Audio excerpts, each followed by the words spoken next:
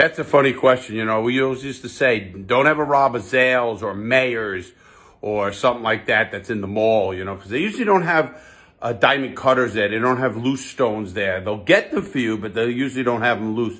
I ended up robbing a Friedman's Jewels, which is a chain store, and it was one of my lower robberies. I think I got a quarter million out of that. So it was one of the smaller robberies, uh, but it, it was a, an opportunity that ran right into our head. So it was a Friedman's Jewelers. But normally, no, you stay away from those. They don't have cutters. They don't uh, have, uh, they're easy to do, but a lot of them are in malls or in, in stuff like that. If they're in a mall stuff, I'm not going to go through the mall and do that kind of crazy stuff. Uh, that's just, you know, not my gig. That wasn't my gig. I, mine was more with the wholesalers.